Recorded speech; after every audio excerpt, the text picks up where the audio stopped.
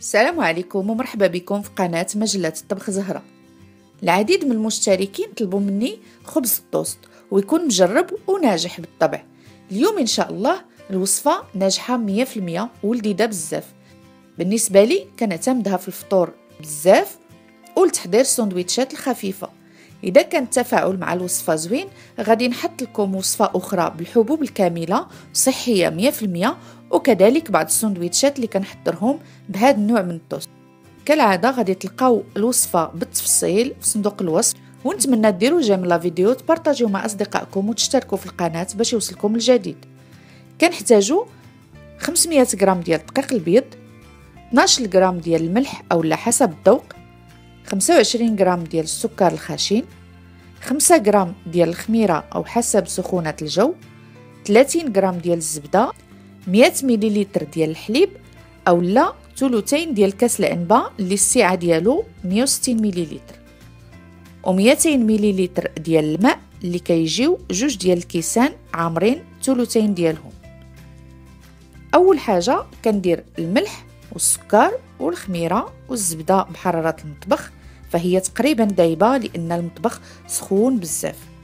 ثم كنضيف الحليب والماء وكنجمع كل شيء في مرة واحدة وما كندلكوهاش غير كنجمعوا العجين باش تيبقى لنا الخبز فتي وما كيجيش مطاط ملي كيطيب.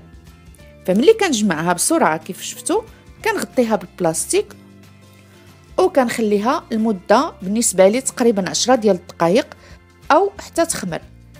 على هذا الشكل وكناخذ قالب خاص بالطوست اللي هو هذا مغلف بورق الطهي وإذا ما كانش متوفر ممكن تستعملوا قالب الكيك الطويل على هذا الشكل مدهون كذلك احتياطا باش ما يلصقناش.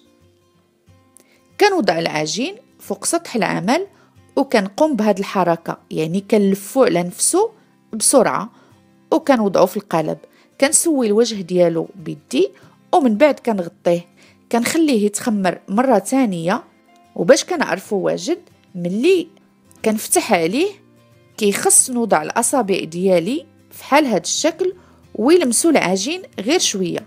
كنعرف بأن العجين وجد وخصنا ندخلوه للفرن.